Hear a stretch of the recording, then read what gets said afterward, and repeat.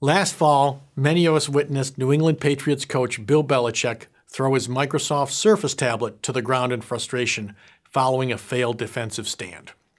And many of us ask, well, what caused him to behave like that?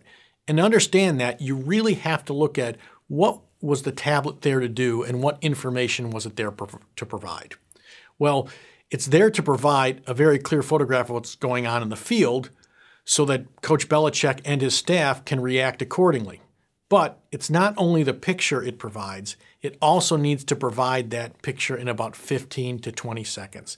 And it's that inability to get the picture there on time led to Coach Belichick's actions. And that gets us into what are the risks of replacing or introducing a new technology into a existing complex system. And the challenge is that can actually make our system even more complex. So as an example, if we have an existing process which has 10 steps in it, and we introduce a new technology that has uh, its own way of doing those 10 steps, when people start to get frustrated, they will mix individual steps of those processes. Now, instead of two ways to do the job, there's over a thousand ways.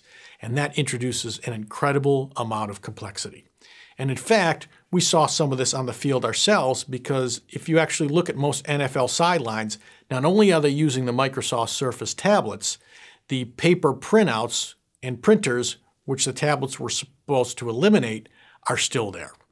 And when you start to get this level of complexity in any system and people can't get their job done in time to serve their customer, you're going to see them start to reject that new technology just as Bill Belichick threw the Microsoft tablet to the ground on that Sunday.